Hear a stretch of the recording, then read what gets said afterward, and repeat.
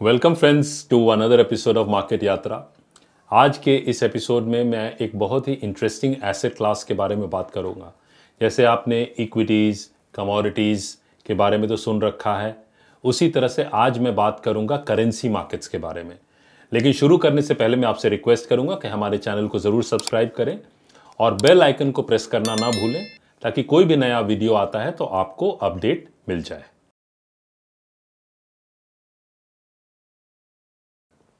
तो शुरू करते हैं करेंसी मार्केट्स के बारे में। क्योंकि जैसे आप इक्विटीज़ में इन्वेस्ट करते हैं या ट्रेड करते हैं कमोडिटीज़ में इन्वेस्ट या ट्रेड करते हैं, उसी तरह से ये भी एक एसेट क्लास है। और ये एसेट क्लास जो है करेंसीज का, ये वर्ल्ड का लार्जेस्ट मार्केट है। यदि मैं डेली की बात करूँ तो ऑलमोस्ट 6.6 ट्रिलियन डॉलर्स की करेंसी फ्लो होती है अक्रॉस द वर्ल्ड तो ये एक एसेट क्लास है जो ग्लोबल इन नेचर है।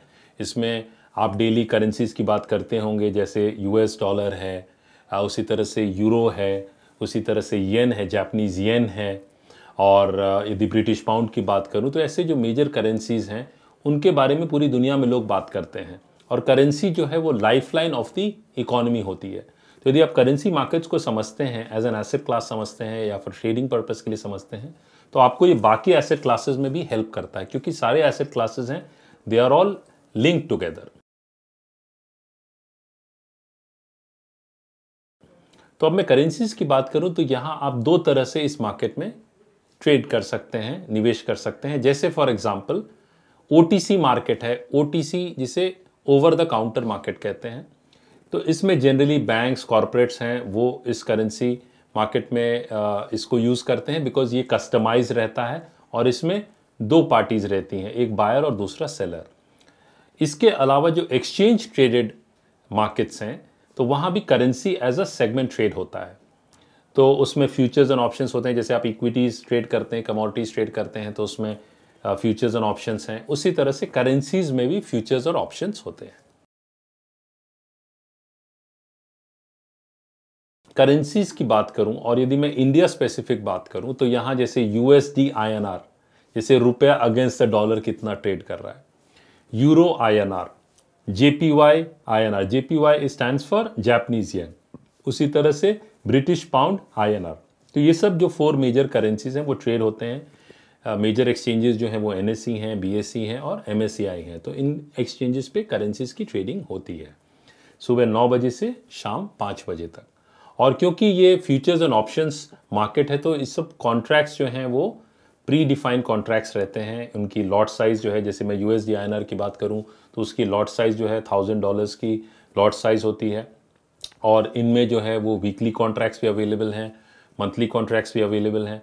तो यदि आप ऑप्शन समझते हैं, या फ्यूचर्स समझते हैं, या डेरिवेटिव्स को अच्छे से समझते हैं तो ये एक ऐसे क्लास है जिसे आप इग्नोर मत कीजिए, वो काफ़ी आपके फ़ायदे के लिए रहेगा। क्योंकि एक तो ये कॉन्ट्रैक्ट साइज़ छोटा रहता है तो मार्जिन कम लगते हैं। दूसरा है currency markets are the least volatile of all markets इसलिए इसमें जो मार्जिन है वो कम रहते हैं।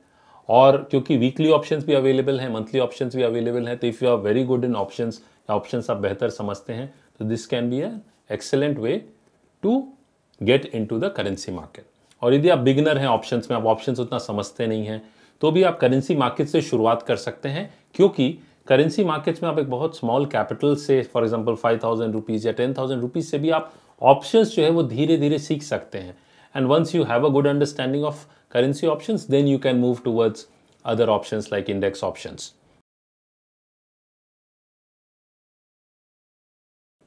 तो करेंसी जो मार्केट है इसके अपने डायनेमिक्स रहते हैं अपने फंडामेंटल फैक्टर्स रहते हैं जैसे US central bank US federal reserve की कुछ इंपॉर्टेंट डिसीज़न होती है तो उसका इफ़ेक्ट हमें न सिर्फ़ इक्विटी या कमोडिटी मार्केट्स पे देखने मिलता है उसका इफ़ेक्ट हमें यूएस डॉलर पे भी दिखता है और उसके बाद सारे करेंसीज पे उसका इफ़ेक्ट दिखता है। तो सेंट्रल बैंक जैसे यूएस में फेडरल रिज़र्व हो गया यूरोपियन सेंट्रल बैंक यूरोप का हो गया इंडिया का आरबीआई हो गया तो इनके कुछ मेजर डिसीजंस होते हैं तो उसका इफ़ेक्ट करेंसी मार्केट्स पे होता है।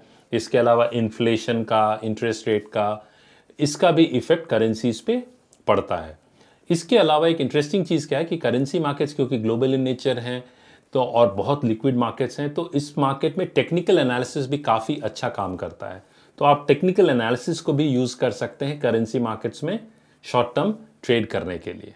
और भी एक इंपॉर्टेंट पॉइंट जो आपको ध्यान रखना है कि करेंसी मार्केट्स जो हैं Indian currency markets they are regulated by RBI and SEBI तो आप एक्सचेंज में जब आप करेंसी ट्रेड करना चाहते हैं तो आप इनमें जो है मेजर करेंसीज जैसा मैंने कहा U S I euro I N R J P Y I N R G B P I N R इन सब में किसी में भी आप पोजिशंस ले सकते हैं।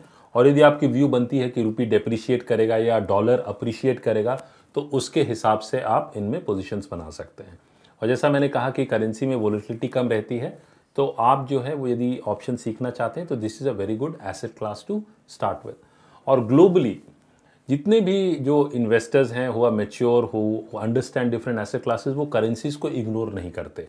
बिकॉज़ यदि आप इस मार्केट को समझने लगते हैं तो आप बाकी भी मार्केट्स में आपको इसका बेनिफिट मिलता है, चाहे वो इक्विटी मार्केट्स हो या फिर कमोडिटीज़ मार्केट्स इसके अलावा मैं और ये ज़रूर ऐड करना चाहूँगा कि यदि आप टेक्निकल्स को और बेहतर तरीके से समझते हैं और उसे अप्लाई करते हैं करेंसी मार्केट्स में इंट्राडे ट्रेडिंग के लिए शॉर्ट टर्म के लिए, या इवन लॉन्ग टर्म के लिए तो you get a very different perspective और क्योंकि ये ग्लोबल एसेट क्लास है तो इसमें चांसेस ऑफ़ जो मैनिपुलेशन है, वो भी ऑलमोस्ट वो नेग्लिजिबल है। और क्योंकि ये एक ग्लोबल एसेट क्लास है तो इसमें लिक्विडिटी की कोई इशू नहीं है, और जितने भी सेंट्रल बैंक्स हैं, उनकी नज़र करेंसीज पे रहती है, क्योंकि कभी वो नहीं चाहेंगे कि उनकी करेंसी में बहुत ज़्यादा वॉलिटिलिटी आ जाए, या तो उनकी करेंसी बहुत ज़्यादा अप्रिशिएट कर जाए बहुत ज़्यादा डिप्रिशिएट कर जाए। और आपको आज के आज के दिन करेंसी मार्केट्स के बारे में currency as an asset class के बारे में काफ़ी इन्फॉर्मेशन और रिपोर्ट्स जो हैं वो मिलते रहती हैं तो आप उन्हें देख सकते हैं from a fundamental perspective but यदि आप शॉर्ट टर्म ट्रेडिंग कर रहे हैं तो you have to use technicals और आप डेरिवेटिव्स डेटा भी देख सकते हैं। तो मैं आपको ज़रूर रिक्वेस्ट करूँगा कि इस एसेट क्लास को आप ज़रूर एक बार देखिए और इसे यदि आप अच्छे तरीके से समझते हैं तो this will definitely add value to your trading skills तो आशा करता हूँ कि आपको करेंसी मार्केट्स के बारे में एक ओवरव्यू ज़रूर मिला। यदि आपके कुछ सवाल हैं कुछ क्वेश्चन हैं तो ज़रूर आप मुझसे पूछिए मैं पर्सनली रिप्लाई करूँगा and till we meet again happy trading